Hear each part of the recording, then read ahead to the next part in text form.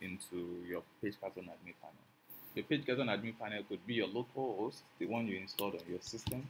It could be the one on pagecarton.com, anyone. Okay, but it's always good to use one that is blank, that doesn't have anything on it. Like you have not used it for anything. So I could come to my pagecarton.com, create a new site, and call it theme dev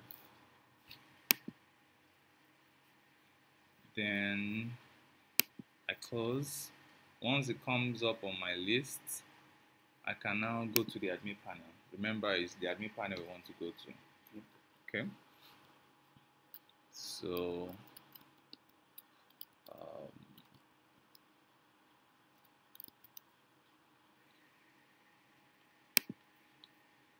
it, it gives us a step here. Number one go to your uh, PageCarton admin panel that's what we are going trying to do now. We're trying to open the admin panel. The number two is click on appearance in the menu to the left. It is this one. Sorry, where is it? Uh, where is it? Yeah, so appearance, then proceed to themes, then upload new theme, right? So we proceed to themes. Then on this it says upload new theme right? So I'll click on upload new theme. Then enter on the screen that pops up enter theme name of your choice. This is choice.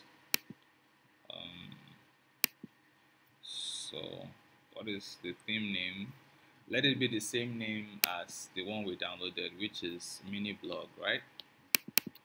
Mini blog this is not required but it's good so that maybe 10 years from now you know where you got your thing from. Do you understand? Then you now upload the uh, the file you just downloaded.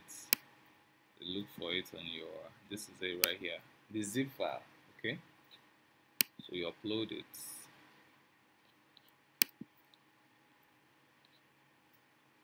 then you leave all the theme updates blank then you save. The, uh, you leave it the way they are right? Then you leave all this one the way they are. Then you save.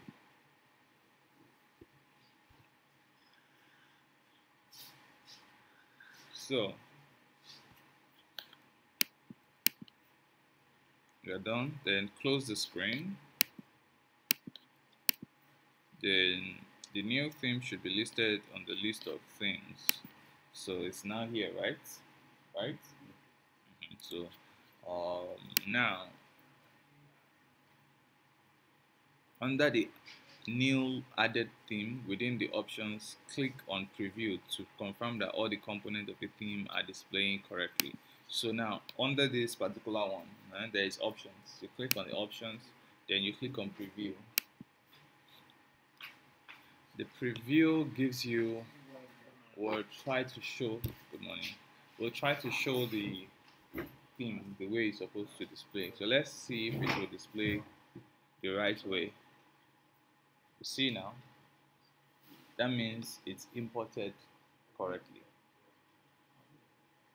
Okay? It's showing correctly. You can confirm that from everything. It's showing correctly. This is what we want. This one is showing which one?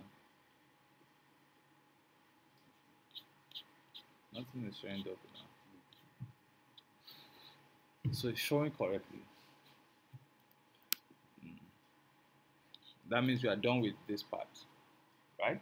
You have imported successfully.